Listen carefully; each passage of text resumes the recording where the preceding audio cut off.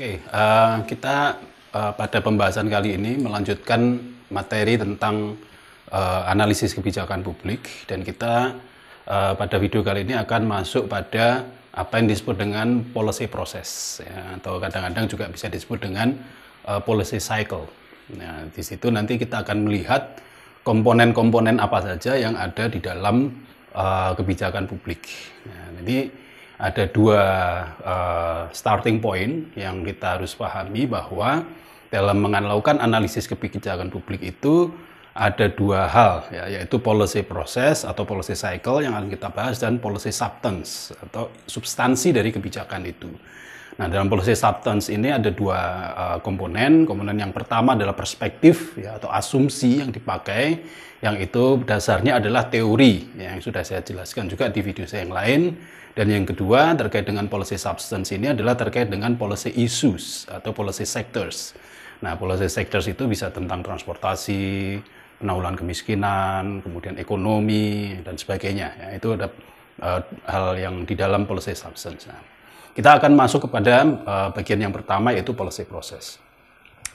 Nah, di dalam uh, mengkaji tentang policy process atau policy cycle, uh, pada dasarnya sebenarnya kita sering mengkategori uh, tahapan kebijakan itu dalam tiga atau empat uh, stages ya, yaitu formulasi, kemudian implementasi, evaluasi, dan kemudian feedback. Nah, kemudian itu menjadi reformulasi, kemudian implementasi, dan seterusnya. Ini adalah empat komponen dasar di dalam policy proses atau policy cycle. Jadi mulai dari formulasi kebijakan itu dibuat, kemudian implementasi kebijakan itu dijalankan, dan evaluasi kebijakan itu adalah bagaimana dinilai uh, apakah dia berhasil atau gagal.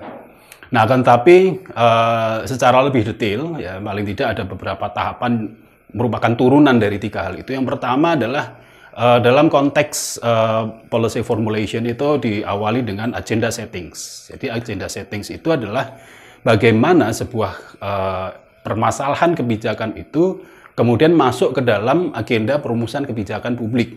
Nah, ini biasanya yang sering dilakukan uh, di era sekarang ini adalah melalui uh, media ya. Jadi pemerintah ditarik atau diajak untuk memperhatikan pada isu-isu tertentu misalnya uh, katakanlah ada persoalan transportasi kemacetan misalnya dan kemudian selama ini pemerintah tidak aware dengan isu kemacetan itu, nah kemudian masyarakat melakukan uh, demonstrasi atau melakukan uh, apa namanya media campaign dan akhirnya kemudian ketika isu itu benar-benar kuat, nah akhirnya dia masuk dalam agenda pemerintah, kemudian pemerintah memiliki willingness atau kemauan untuk membahas secara serius uh, isu kemacetan itu. Nah, itu adalah proses yang dinamakan agenda settings, yang itu dilakukan sebelum policy formulation dilakukan. Jadi, agenda settings itu adalah merupakan pintu masuk dari proses formulasi.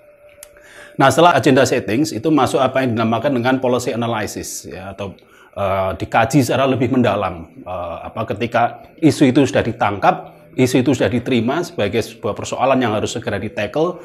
Nah, baru dilakukan analisis secara mendalam, ya, dilakukan data collection, kemudian dilakukan analisis, kemudian dilakukan uh, uji dengan pakar, kemudian dilakukan konsultasi publik dan sebagainya. Itu adalah uh, proses yang disebut dengan uh, policy analysis. Nah, yang ketiga adalah uh, setelah policy analysis ini uh, dilakukan dan selesai, kemudian baru dibuat apa yang dinamakan dengan policy instruments. Ya. Perangkat-perangkat apa saja yang dibutuhkan agar rekomendasi kebijakan dari proses policy analysis itu bisa diimplementasikan. Nah, misalkan dia butuh aparat berapa, dia butuh perangkat perundangan apa saja, dia membutuhkan sumber uh, dana berapa jumlahnya, dan sebagainya itu adalah tentang policy instruments. Nah, kemudian yang keempat adalah ini belum sampai pada implementasi ya. Jadi setelah policy instruments disiapkan masih harus ya dalam era demokrasi dikonsultasikan lagi kepada publik ya, diundang lagi masyarakat bahwa bagaimana ini kita sudah melakukan analisis, kita sudah siapkan instrumen, apakah apa yang akan kita terapkan ini memang benar-benar uh, apa namanya achievable atau tidak, bisa bisa diimplementasikan atau tidak. Maka dilakukan lagi tahap apa namanya konsultasi. Nah, setelah kemudian semua hal itu disiapkan, maka masuk pada tahap uh, yang berikutnya atau tahap kelima yaitu coordination. Ya, jadi siapa melakukan apa, kemudian resources itu siapa yang mengelola yang sudah dialokasikan, kemudian perangkat perundangan ini uh, apa siapa yang harus mempersiapkan, siapa yang nantinya harus membuat uh, kajian terhadap perangkat-perangkat perundangan itu dan sebagainya itu adalah coordination sehingga instrumen-instrumen yang sudah disiapkan dan sudah disepakati itu sudah jelas masing-masing siapa yang bertanggung jawab untuk mengawal uh, instrumen tadi supaya bisa diterapkan. Nah, kemudian tahap ketujuh barulah sampai pada implementasi. Semua orang kemudian diminta, semua orang yang sudah didistribusikan tugasnya tadi diminta untuk segera bergerak. Siapa yang bergerak dulu, siapa yang bisa bergerak bersamaan, siapa yang harus menunggu uh, apa elemen satu selesai baru kemudian dia dia bisa bergerak. Nah, Inilah yang dinamakan dengan policy implementation. Ketika instrumen-instrumen dan orang-orang yang bertanggung jawab terhadap kebijakan itu sudah ditugaskan untuk menjalankan fungsinya masing-masing. Dan ini adalah tahap yang paling panjang durasinya ya karena dia benar-benar mengimplementasikan kebijakan itu sekaligus tahapan yang paling sulit ya karena bagaimana kita memastikan supaya pekerjaan-pekerjaan yang dilakukan di lapangan itu sesuai dengan apa yang sudah diharapkan. Nah, barulah pada tahap berikutnya adalah policy evaluations. Kenapa ini ditaruh di akhir? Karena yang dievaluasi itu sebenarnya tidak harus sampai kebijakan itu selesai. Pada saat kebijakan itu dilaksanakan, proses evaluasi juga sudah bisa mulai dilakukan. Dalam hal ini sering disebut dengan MONEF ya, atau monitoring dan evaluasi atau evaluasi berjalan ya, ongoing evaluation. Jadi ketika kelompok atau pihak-pihak yang tadi sudah dibagi tugasnya menjalankan fungsi di lapangan, ada satu elemen, ada satu pihak yang kemudian memonitor apakah masing-masing pihak itu sudah menjalankan tugasnya dengan baik atau belum. Nah, proses monitoring itu juga adalah bagian dari evaluasi atau yang sering disebut dengan ongoing evaluation. Yang tujuannya adalah untuk mengembalikan kepada track ya, ketika ada pihak yang kemudian agak menyimpang sedikit di, diingatkan untuk kembali pada track. Nah, evaluasi yang terakhir atau yang disebut dengan expose evaluation itu ketika kebijakan selesai secara menyeluruh kemudian dievaluasi semuanya. Nah, tetapi eh, ada juga ya, evaluasi yang dilakukan pada saat kebijakan itu sedang diformulasikan tadi mulai agenda setting, kemudian policy analysis, kemudian penyiapan policy instrumen itu juga dilakukan proses evaluasi itu yang dinamakan dengan ex ante evaluation. Ya, ketika kita mengkritisi bagaimana proses dan bagaimana pembahasan ketika kebijakan itu didesain. Nah, itu adalah cerita singkat ya dari apa yang dinamakan dengan policy cycle atau policy process. Ya, dan ini banyak sekali buku-buku uh, yang menjelaskan tentang uh, siklus kebijakan yang seperti itu. Sehingga kalau kita simpulkan sebenarnya siklus kebijakan yang tadi saya jelaskan atau yang dinamakan dengan policy cycle itu sering kali juga disebut dengan stages approach atau pendekatan yang bersifat bertahap jadi kebijakan publik itu dianggap sebagai sesuatu yang bersifat stages, ya, bertahap, bertingkat-tingkat. Nah, uh, inti sari dari dari pendekatan policy cycle atau policy process tadi adalah uh, yang bersifat stages itu adalah bahwa uh, dia berpijak kepada teori sistem dari uh, apa namanya dari David Easton ya, yang dikembangkan oleh David Easton sudah lama sekali sekitar tahun 19 50-an eh, sampai 1960-an di mana David Easton mengatakan ada input, ada proses dan ada output. Input itu bisa kita analogikan sebagai policy formulation, proses itu bisa kita analogikan sebagai policy implementation dan output itu adalah bisa kita analogikan sebagai policy evaluation. Dan kemudian itu ada feedback menjadi input, proses, output. Itu sebenarnya uh, basic atau uh, dasar dari uh, pendekatan yang dinamakan dengan stages approach. Dan ini dikembangkan dengan banyak sekali varian-varian, ya, dengan banyak sekali turunan-turunan, akan tapi pada prinsipnya pemahaman tentang stages model itu adalah seperti itu. Jadi kebijakan publik dipilah-pilah menjadi tahapan-tahapan. Pada perkembangannya, kemudian pendekatan yang bersifat stages ini mendapatkan kritik. Ya, mendapatkan kritik yang dianggap bahwa sebenarnya pendekatan stages itu terlalu normatif. Dan kenyataan di lapangan sebenarnya jauh lebih dinamis daripada hal-hal yang bersifat stages tadi. Nah, maka kemudian banyak yang mengemukakan kritik terhadap uh, pendekatan statis tadi bahwa ini hanya ada di tataran logika, ini hanya ada di tataran abstraksi. Tetapi di dalam implementasinya sebenarnya tidak ada kebijakan publik yang benar-benar berjalan secara bertahap dan rigid seperti itu, seperti yang dikatakan oleh orang-orang yang ada dalam kelompok stages model tadi. William Dunn ya tadi uh, saya lupa sebutkan William Dunn itu adalah salah satu tokoh yang paling utama yang berpijak kepada pendekatan yang bersifat stages tadi. Nah, sehingga pendekatan yang bersifat stages tadi sering kali juga dikritik sebagai pendekatan yang irasional. Ya, kenapa? Karena itu tadi dia hanya konsep saja di lapangan dia tidak tidak uh, berjalan.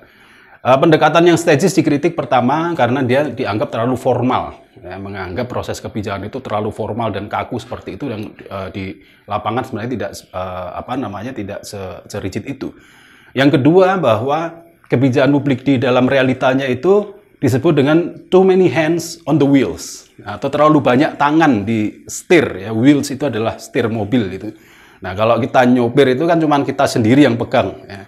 Nah tapi dalam public policy di dalam uh, setir mobil itu too many hands, ya. terlalu banyak orang yang ingin mengendalikan kebijakan itu sesuai dengan kepentingannya masing-masing. Itu yang dikatakan bahwa too many hands on the wheel. Nah, sehingga tahapan-tahapan itu juga dianggap tidak realistis ya di lapangan uh, cukup kompleks.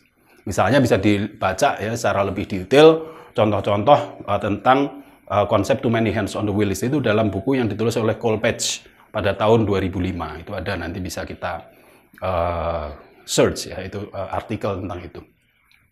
Kritik yang berikutnya ya selain too many hands on the wheel adalah the limits to pure technical and rational thoughts. Nah, ini bisa dibaca di buku dari Richardson pada tahun 2016 kemudian Simon ya pada tahun uh, 1996 Herbert Simon uh, dia mengatakan bahwa aspek-aspek yang bersifat teknikal ketika digunakan untuk melakukan analisis kebijakan publik itu sering kali salah sasaran. Ya, kenapa? Karena ternyata di balik proses kebijakan publik itu banyak hal-hal yang bersifat social and political aspects. Nah, itu tidak selamanya sejalan dan linear dengan hal, yang bersifat teknikal. Nah, kemudian yang ketiga uh, disampaikan oleh uh, Richardson juga dan Duros pada tahun 2016 di buku yang sama. Kemudian ada Hughes pada tahun 1998. Uh, dia mengatakan bahwa pendekatan yang bersifat stages tadi itu mengabaikan substansi dasar dari manusia. Di mana manusia ini adalah subjek yang paling utama di dalam kebijakan publik yaitu apa? Perception and behaviors. Nah, perception and behaviors itu tidak selalu linear dan tidak selalu sejalan dengan pendekatan yang bersifat stages tadi. Formulasi, implementasi, evaluasi, feedback, formula, reformulasi, dan sebagainya. Ini adalah pendekatan yang bersifat mekanis. Sementara orang-orang yang ada di dalam proses kebijakan itu sendiri lebih mengedepankan perceptions and behavior. Nah, perceptions and behavior itu bisa muncul secara begitu kompleks dan dinamis. Ya, tidak selamanya mereka mau mengikuti uh, alur yang bersifat mekanis tadi. Uh, lalu apalagi kritik yang ditujukan terhadap uh, model stages ini uh, adalah uh, bahwa banyak aspek dalam uh, realita kebijakan seperti culture, kemudian power, capacity, kemudian relationships, kemudian ideas, ya, discourse dan sebagainya itu juga tidak tercover. Nah ini tulisan dari Bevere dan Rhodes pada tahun 2003, kemudian Smith, ya, Vivian Smith pada tahun 2010, itu mengedepankan itu bahwa sebenarnya pendekatan stages ini tidak tidak cukup valid ya, untuk dipakai dalam melakukan analisis kebijakan publik. Akan tetapi jangan dilupakan bahwa sebenarnya mereka semua yang mengkritik pendekatan stages tadi mengatakan bahwa pendekatan stages ini tetap perlu untuk dipelajari para analis kebijakan hanya untuk dalam konteks membedakan saja, memudahkan untuk memahami secara basic tentang fenomena kebijakan yang diamati. Ya, bahwa ada formulasi, ada implementasi, ada evaluasi, dan ada feedback. Itu hanya untuk proses pembelajaran, hanya untuk proses pedagogis. Tetapi untuk melihat realita kebijakan di lapangan itu tidak tepat. Kenapa? Karena di lapangan tidak se-stages itu realitanya kebijakan publik berjalan.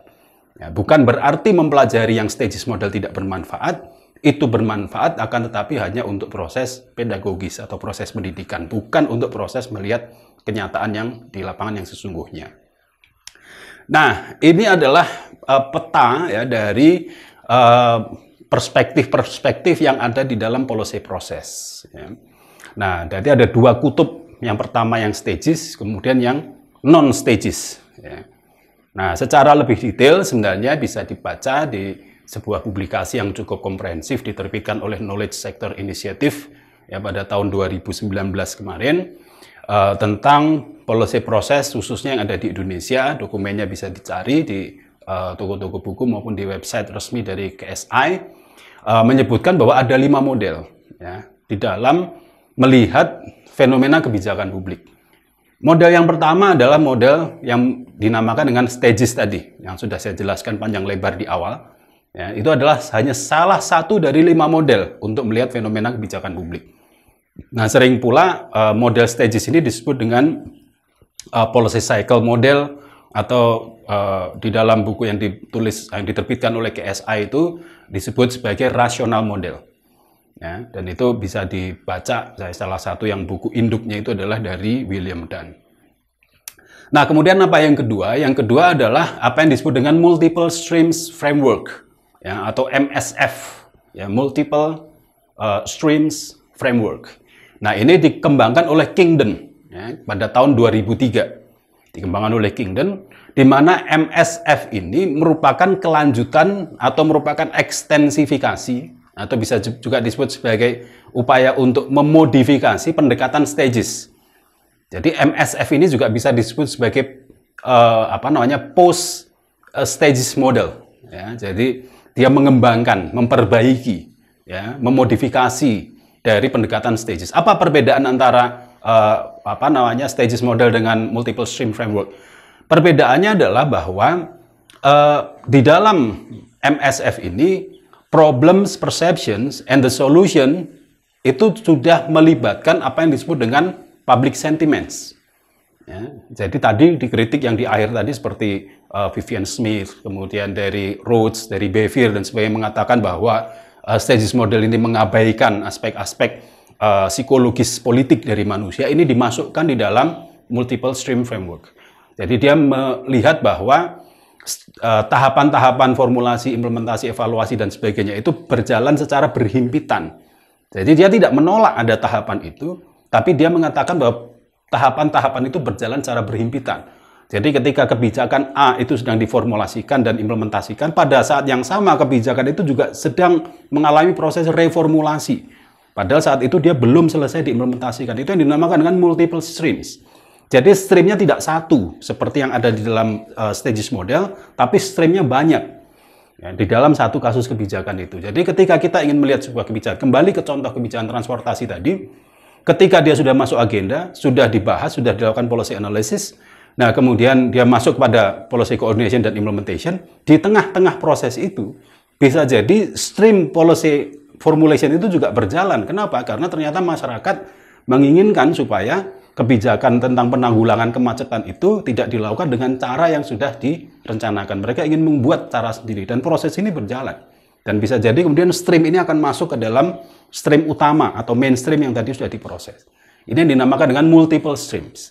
Jadi dia mempercayai tahapan-tahapan yang ada dalam stages model, tetapi dia mengatakan bahwa tahapan itu bisa berjalan berhimpitan dalam waktu yang bersamaan. Nah, ini adalah uh, pendekatan yang digunakan oleh Kingdon. Realitanya Kingdon melihat seperti itu, stages itu ada, dan kemudian uh, dia uh, berhimpitan. Nah, kemudian yang ketiga apa? Yaitu yang dinamakan dengan incremental models. Ya, ini dari Charles Limdom. Ya, ini sudah agak lama sekitar tahun 1960-an ya. Charles Limdom mengungkapkan tentang incrementalist model. Uh, bagi Limdom sebenarnya tahapan-tahapan itu berjalan secara uh, apa namanya akumulatif ya.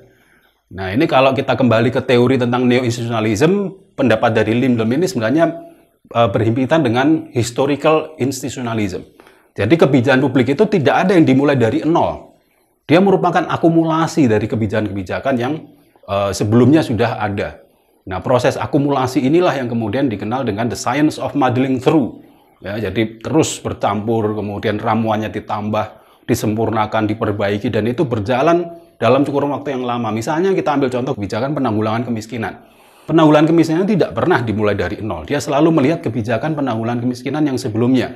Diperbaiki, dimodifikasi, diterapkan, kemudian diperbaiki, dimodifikasi, diterapkan, begitu seterusnya. Ini yang dinamakan dengan model incremental. Ya, jadi tidak memulai dari nol tapi mengakumulasi. Nah, yang keempat, ya model yang keempat, realita kebijakan dianggap sebagai uh, apa yang disebut dengan garbage can model. Jadi garbage can itu adalah tong sampah. Ya. Ya, tong sampah itu apa saja masuk ke situ. Ya mulai sampah organik, sampah anorganik segala macam masuk ke situ. Ini adalah model garbage can dan ini uh, di, lebih dipilih oleh orang-orang seperti Hollett and Ramesh ya, yang banyak sekali menulis buku-buku bagus ya tentang kebijakan publik. Kemudian ada juga buku Zahar uh, Zahariadis ya diterbitkan pada tahun 2014. Nah, garbage can model ini menganggap bahwa kebijakan publik itu berjalan dengan begitu kompleks. Ya, yang bisa kita lakukan adalah setiap kebi kasus kebijakan kita bisa identifikasi dan kita bisa rumuskan tahapannya.